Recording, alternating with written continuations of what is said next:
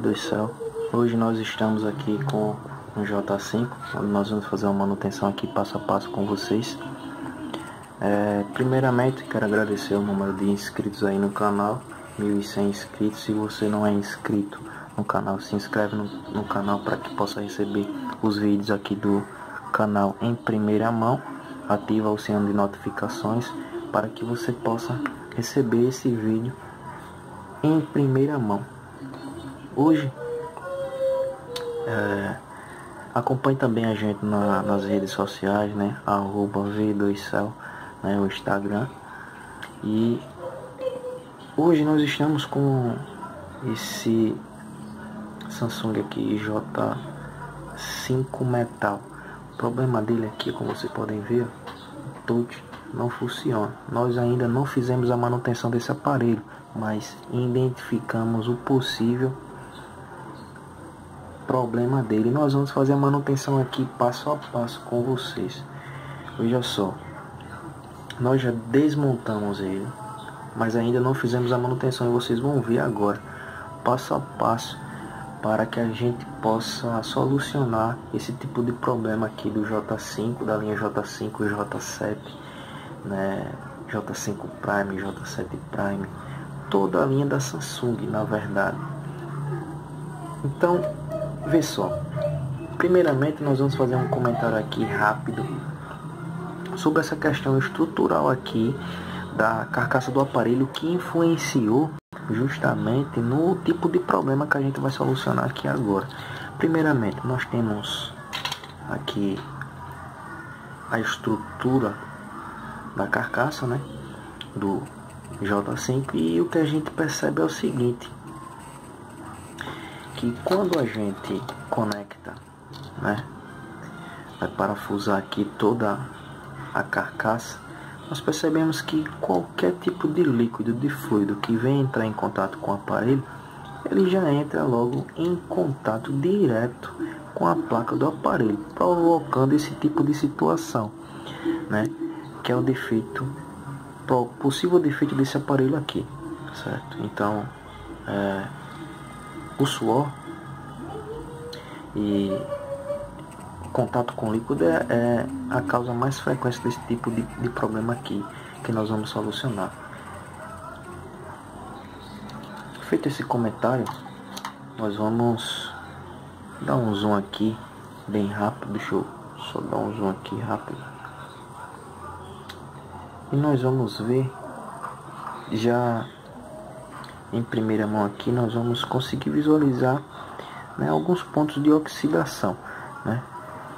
esses pontos aqui ó vocês podem ver meio acinzentado né cinzentado aqui essas partezinhas aqui ó né, estão é, oxidados aqui também nós temos ponto de oxidação vocês percebem aqui ó, que ele não está no formato que a gente conhece aqui. A diferença dessa região aqui que não é oxidada para essa daqui a gente não consegue nem ver esse capacitor ou um resistor aqui entendeu? Aqui tem ponto de oxidação. E o ponto principal nós vamos mostrar agora. Deixa eu só ver. Como vocês podem ver o aparelho não funciona touch aqui ó, né? o que a gente vai fazer? Nós vamos remover a bateria do aparelho. Nós vamos mostrar certo deixa eu só pegar essa pinça aqui nós vamos mostrar, certo? A, a possível causa desse tipo de problema. Aproximar mais um pouco aqui. Deixa eu colocar aproximar mais um pouquinho aqui, ó. Deixa eu focalizar aqui. Se daqui vocês já conseguem perceber, né? Ter a noção do problema. Aí nós temos aqui pontos de oxidação. Só ver aqui, ó. Pontos de oxidação. Aqui um ponto mais escuro, uma tonalidade mais escura. Né? Aqui, oxidações em todo o conector desse lado aqui. Nós temos aqui, como vocês podem ver também mais de perto, os pontos de oxidação. Mas o que está provocando basicamente todo esse mau funcionamento aqui do touchscreen é essa partezinha aqui, né? Onde a gente conecta justamente o display.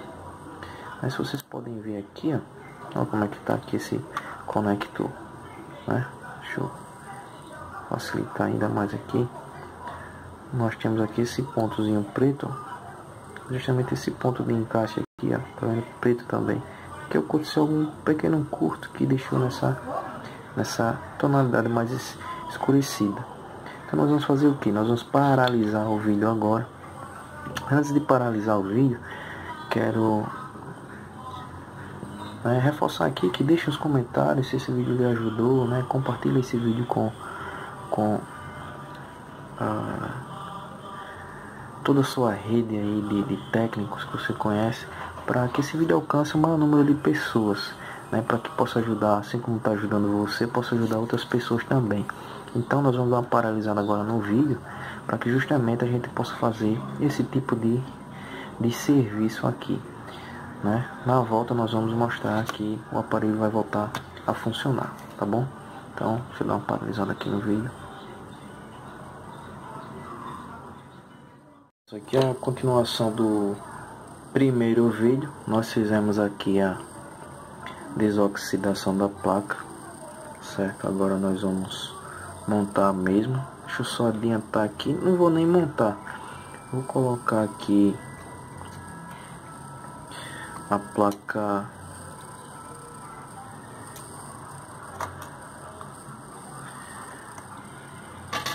para adiantar. A gente pode ver aqui que eu já eliminei as oxidações certo? Nesses pontos aqui.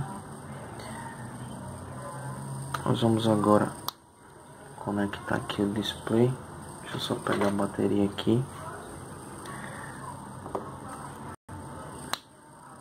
Certo conectar aqui. Vamos ligar aqui o aparelho agora. Aparelho não tá ligando porque o botão power dele aqui é de contato. Nós vamos agora ligar o aparelho. Agora o aparelho ligou e vocês vão ver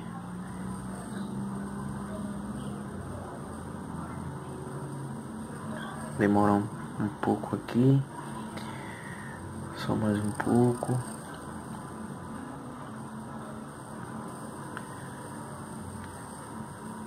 Só mais um pouco aqui, deixa eu só ver.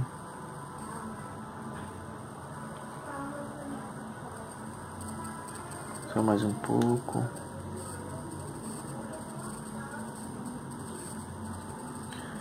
Vamos lá.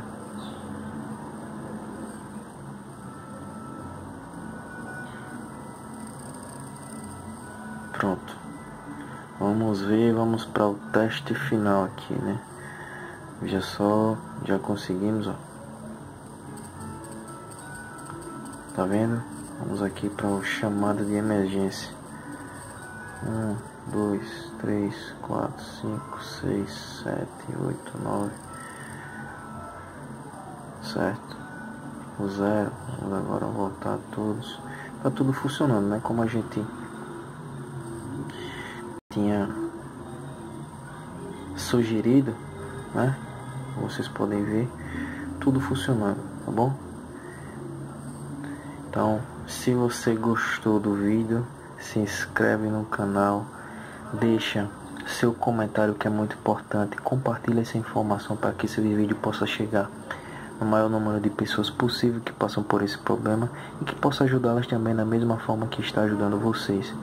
Então, acompanhe nossas redes sociais, arroba V2Cel nos segue lá e até o próximo vídeo.